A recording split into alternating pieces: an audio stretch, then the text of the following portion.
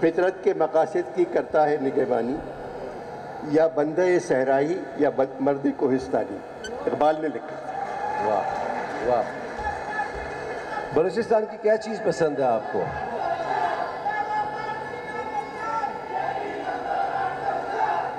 आप बात सुने। अभी हम लोग सब हम लोग आज़ाद हैं। हम सब हम सब आज़ाद हैं तो जो लोग अ, सलाखों के पीछे हैं उनकी बात ना करें। तो भूल गए। अनुमान जीते रहिए। बात यह है जो है जबा पे दिल को नहीं उससे फ़ायदा। जो दिल में है वो ला नहीं सकते ज़बान पर। तो अब ये मैं लिख रहा हूँ अभी भी लिखता हूँ मैं। और अगर ये प्रोग्राम आपकी थोड़ी सी तवज्जो चाहिए होगी प्लीज़ अगर आप खामोशी से सुनेंगे अनवर मकसूद साहब को तो आप मज़ा उठाएँगे उसका। मतलब मुझे तो खुशी हो रही है कोई तो शोर कर रहा है।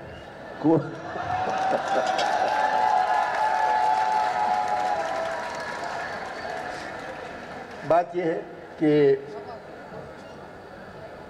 अगर मेरी तबीयत ठीक नहीं है, मेरी गला भी मेरा ख़राब है, अगर ये प्रोग्राम शाह साहब सरहद में रखते, पंजाब में रखते, मैं सिर्फ़ बलूचिस्तान की वजह से आया हूँ।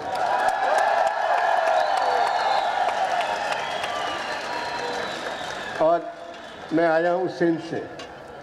वही मैं पूछना चाह रहा था, आप सिंध से आए हैं, बलूचिस्तान के लिए कोई पैगाम लेकर आए, कोई बात कहना चाहते हैं आप? जी एम सैयद, जब सिंध से पहली मरतबा बलूचिस्तान आए तो उन्होंने कहा था, मैं एक मरतबा फिर सच्ची का पैगाम पुन्नों के लिए लाया हूँ। इस दफ़ा आप कबूल कर लें। तो मैं भी ये कहता हूँ कि इस दफ़ा मैं सच्ची का पैगाम लेके आया हूँ आप लोगों के पास, सिंध से। तो हम जिस दौर से गुजर रहे हैं, ये मुश्किल दौर है। महँगाई है, परेशानी है, मगर चंद लोगों को उम्मीद है कि हालात ठीक हो जाएँगे। अब वो चंद लोग नज़र नहीं आ रहे मुझे। जैसा कि आपने कहा कि वो चंद लोग हैं, मगर उम्मीद है। सबसे अच्छी बात यह कि उम्मीद है कि हालात इंशाल्लाह। हो जाएँगे और जब तक शाह साहब मौजूद हैं हमारे दरमियान जी। वो इस तरह के हंगामे कराते रहेंगे। जनाब शाह साहब के लिए बहुत भरपूर तालियाँ जनाब और ये वाकई ये शाह साहब की काविशें हैं जिसकी वजह से मेरा तो पहली दफ़ा आना हो रहा है बलूचिस्तान और ख़ास तौर से कोयटा बड़ा अच्छा लगा इतने रंग के गुलाब मैंने आज तक नहीं देखे थे जितने रास्ते में देख लिए। और यहाँ भी आप लोग गुलाब की तरह खिल रहे हैं इस वक्त। अनवर साहब, जो सबसे मज़ेदार बात, बहुत से आपके फैंस आपसे गिला करके बैठे हुए हैं। वो कहते हैं, एक अरसा हो गया है, आपने टीवी के लिए कुछ लिखा नहीं है, कोई ड्रामा नहीं लिखा। क्या वजह है उसकी? क्यों? अदनान, मैं मज़ाह लिखता था ज़्यादातर, मगर अब मजाहिया ड्रामे सूबाई और नेशनल असम्बली में हो रहे हैं। तो उनको देख देख के मैं वैसे ड्रामे तो नहीं लिख सकता। तो इसलिए मैंने थोड़ा वक्फा दिया है। नहीं, आप ब- गाए बगाए आप स्टेज के लिए तो लिखते रहे हैं। बहुत सारे ऐसे प्रोग्राम्स भी आए, जिसमें आप ही का ड्रामा था, आँगन टेढ़ा बा मुलायजा बादब बा मुलायजा अलिफ नून फिफ्टी फिफ्टी ये तंज मिज़ा एक माशरे के साथ जुड़ा रहता है। अब ऐसा क्यों कि ख़त्म होता जा रहा है ये? अदनान वापस आएगा। एक थोड़ी तहजीब की कमी हुई है। इन हालात बदलेंगे दिन सुधरेंगे तो वो तहजीब कलम में भी आ जाएगी फिर लोग लिखेंगे। जनाब ये बताइए मैंने अक्सर आपको सिया रंग में देखा है। हमेशा सिया लिबास पहनते हैं। उसकी वजह क्या है? मैं 14 अगस्त उन्नीस सौ सैंतालीस से आज तक योम सिया मना रहा हूँ।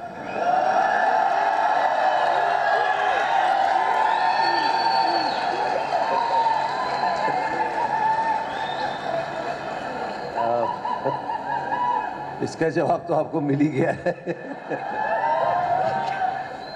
खैर मैं सर बिल्कुल इस माहौल को चेंज करते हुए कुछ और सवाल करता हूँ क्योंकि आप कहीं और निकल जाएँगे। मैं चाहता हूँ वहाँ ना जाएँ आप। ये बताइए कोई खेल पसंद है? खेल खेलते हैं? क्रिकेट खेलता था। अच्छा। हाँ मगर बहुत अच्छी खेलता था। मैं मुश्ताक आसिफ इकबाल के साथ खेलता था। मगर चूँकि मैं ताल्लुक़ कराची से है इसलिए टीम में नहीं आया। आज की सिलेक्शन जो होने वाली है जो अभी हम टी ट्वेंटी वर्ल्ड कप खेलने जा रहे हैं क्या उम्मीद है आपकी उससे? उम्मीद तो मेरे ख्याल में मैं दुआ कर रहा हूँ कि ना हो। ना हो। उसकी वजह? उसकी वजह यह है कि पाकिस्तानी टीम को बहुत दूर से आना पड़ेगा। वेस्ट इंडीज़ बहुत दूर है। अब जो टी ट्वेंटी है ना उसकी अप्रोच बदल गई है। अगर आप इंडिया अभी पी एस एल देख रहे थे, दो सौ नब्बे रन, दो सौ अस्सी रन, वो जो पहले छः ओवर है ना, उसके अंदर अस्सी रन बन जाते हैं। हमारे यहाँ सैम अयूब को शौक़ है जल्दी आउट होने का। एक छक्का मार के वो फिर फ्लिक करता है, वो सीधी कैच बाबर आज़म कल के मैच में बाजन तीन बॉलों पे तीन छक्के मारे। बहुत बड़ा प्लेयर बाबर आज़म इस वक्त सबसे अच्छा प्लेयर है। मगर अप्रोच टी ट्वेंटी वाली नहीं है। तो आपको लगता है कि इस टी ट्वेंटी में पाकिस्तान के हालात वैसे नहीं होंगे जैसे होने चाहिए? देखिए हमको हर मैच अल्लाह जिताता है। और इंजमाम यूसुफ जी। और मुश्ताक सकलैन ये सब अल्लाह से करीब हैं। तो अगर ये दुआ करेंगे तो हम जीत जाएँगे। मैंने सुना कि ये आफ्टर शेव का बड़ा इस्तेमाल करते हैं ये सारे जिनका आपने नाम लिया है। नहीं इनको तोहफे में लोग आफ्टर शेव लोशन देते हैं। वजह क्या है उसकी? वो उसकी ज़कात दे देते उनके इस्तेमाल नहीं कर सकते। अच्छा बात सुने ये नौजवान जो बैठे हुए हैं। जी। बेटा हम लोग जो है मेरी उम्र के लोग हम लोग मुजरिम हैं आपके। हमने इस मुल्क के लिए कुछ नहीं किया। सिर्फ़ हम लोगों को देखते रहे, हुकूमत में आते हुए, जाते हुए। अल्लाह ताला ने आप लोगों को बहुत कुछ दिया है। ये मशीनें जो आपके हाथ में हैं, यही आपका मुस्तकबिल है। आप तालीम हासिल कर रहे हैं इनसे।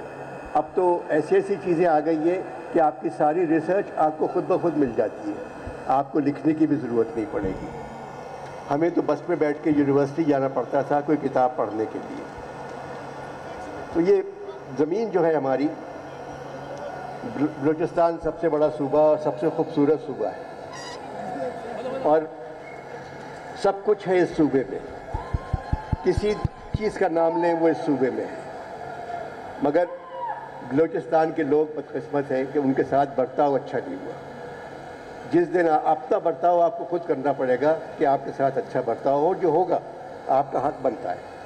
क्योंकि बिजली, पानी और हवा पर कोई कैद नहीं है, वो सबके लिए बराबर है। आपसे सिर्फ़ ये है कि जितना अच्छा सूबा है, उतने ही अच्छे आप बन के दिखाएँ, जो आप बन सकते हैं। अभी आप अंदर अभी जब मैं आ रहा था रास्ते में तो जनाब, अभी जब हम रास्ते में आ रहे थे तो आपने इनकी वजाहत के बारे में कुछ कहा था। आप कुछ कह रहे थे वो भी इनको बता दीजिए आप। नहीं जितने मैंने खुश शक्ल बिलोची देखे मतलब उतना तो पंजाबी भी नहीं देखा। बहुत खुश शक्ल है माशाल्लाह। बहुत अच्छे लोग हैं आप लोग।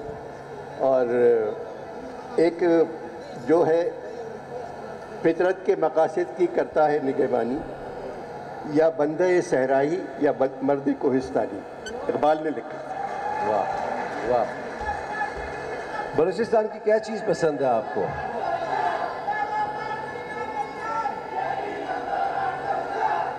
आप बात सुने। अभी हम लोग सब आज, हम लोग आज़ाद हैं। हम सब हम सब आज़ाद हैं। तो जो लोग सलाखों के पीछे हैं उनकी बात ना करें। अब ये कि कौन अच्छा है, कौन बुरा है, ये आप भी जानते हैं और मैं भी जानता हूँ। मगर ये कि दुआ करें कि मुश्किल ये हो गई है कि अब साहिब इंसाफ है, ख़ुद तालिब इंसाफ।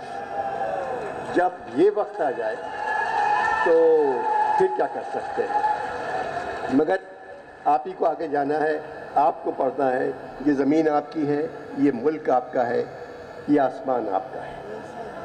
आप लोग ज़िंदा रहें खुश रहें और लड़ते रहें पाकिस्तान के लिए काम करते रहें पाकिस्तान के लिए। साहब आपको बलूचिस्तान की क्या चीज़ अच्छी लगती है?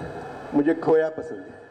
कैसी बातें कर रहे हैं? खोया तो पंजाब या सरहद का की सौगात है यहाँ कहाँ? नहीं यहाँ जो बंदा खोया हुआ है मुझे वो पसंद है।